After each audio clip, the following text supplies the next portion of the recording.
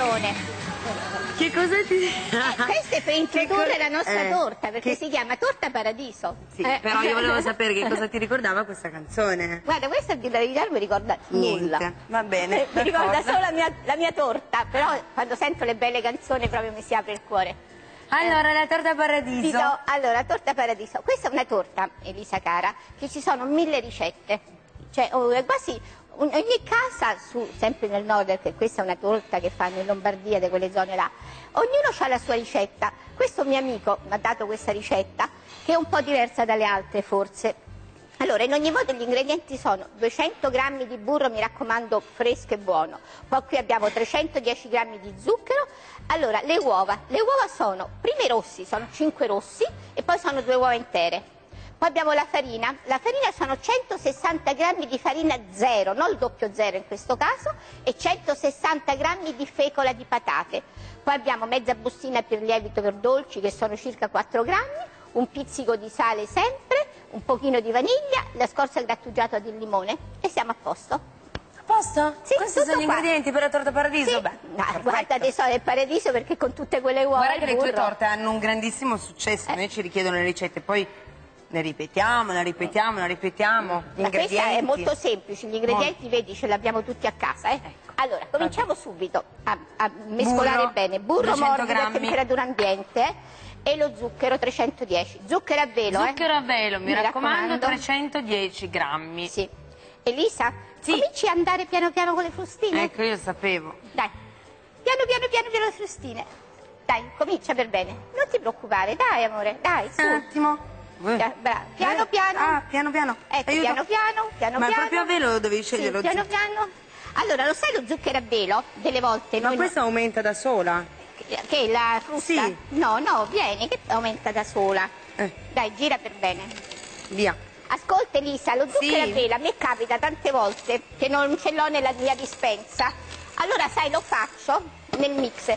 Eh, Elisa, chiudi un attimo, spegni, chiudi il mix. Via. Lo facciamo prima un attimino così e poi aggiungiamo lo zucchero. Ti dicevo, delle volte mi capita di non averlo, allora basta mettere nel, nel nostro mixer cosa abbiamo, magari il frullatore, quello che si ha a casa, lo zucchero normale con un cucchiaio di fecola di patate, frullare, frullare per bene e viene lo zucchero a velo. E poi se si vuole vanigliato ci di- si mette una stecca di vaniglia. Io sempre ho, lo sai, le stecche di vaniglia dentro lo zucchero. Vero. Ecco, allora adesso Elisa, visto che qui c'è, vedi lo zucchero in questa proporzione, in questa torta è abbastanza, cominciamo a mettere Devo giù i torli. sì. Dai.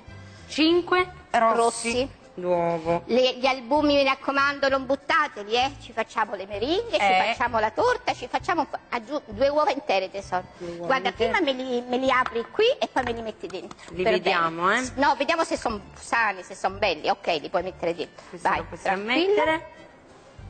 Ecco, dopo che abbiamo aggiunto, questi li, la battiamo bene bene con le frusta. Va bene. Anche questo è bello. E lo Allora, mettiamo. Andiamo, dai. Allora, questa torta, Elisa, la- è un po' difficile la cottura. Allora, tu lo- come cuoci tu le tue le torte? Vabbè, non le fai mai, ma...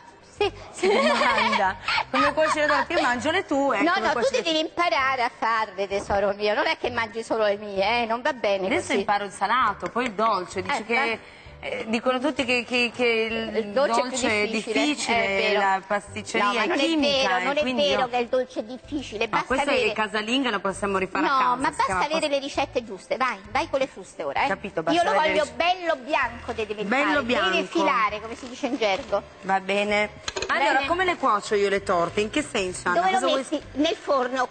Se- non con la griglia, ma con quello piatto. Quello brava, questa è già una vai Buona bene. cosa. Ok, Poi una, una ok. un'altra domanda. Eh, ventilato o statico? E dipende dalla torta. Ti va? No? Acqua.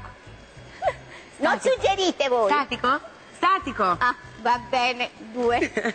Sono le signore del pubblico Poi di Frosinone che... Ascolta, il forno lo accendi prima. Prima, la- cioè, il forno lo accendiamo prima, Anna, non mi fare questo errore, eh? tu non me lo fare questo errore. A 180 gradi deve raggiungere bene la temperatura. Temperatura. Perfetto. Poi un altro segreto. Mm. Quando la torta è, è pronta, cosa fai? Stecchino.